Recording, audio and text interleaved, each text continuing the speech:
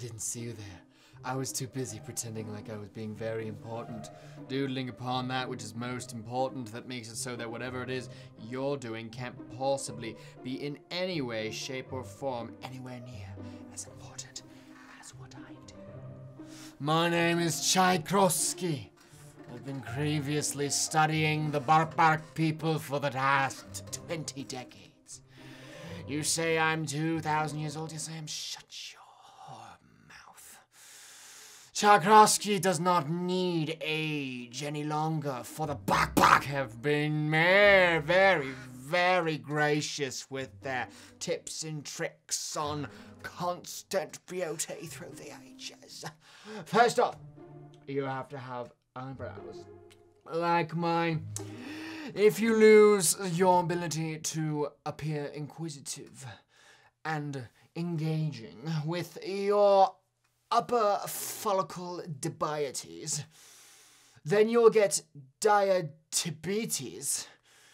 Yes. Second of all, you need to make sure that as long as you can, you're not looking at anything. That's why I wear these glasses to hide my sight, making it so that any time that I look at the world, it's so painful that I simply want to close them again. The longer that you pretend like you're dead, the longer that death can't remember that you're alive.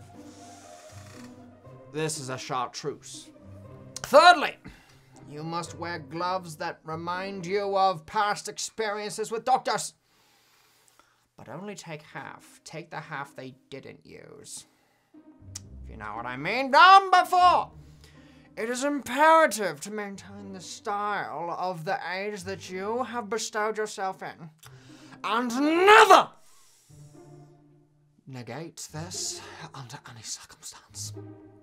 I was born as Chartreuse of Chartreuse in Chartreuse the humble city of Switzerland. May it rest in peace. Amen. Amen.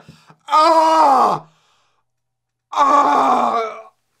Excuse me, I, just, I can't. Ah! Your horrible world makes me disgusted. Chartreuse! In the Victorian era of 1683.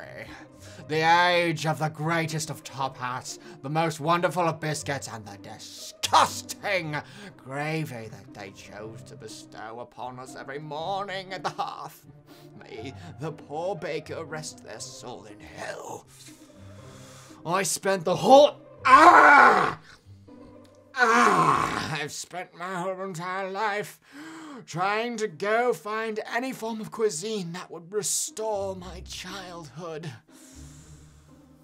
Ugh, but to no avail until I found the backpack Ugh, in the hidden Aborigine city of Corpusculus, where they taught me of wonderful endurabilities, granting me the most wonderful culinary experience along with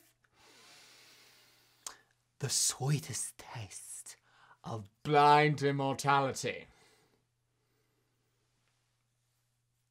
Now get out of here before I have to actually look at you.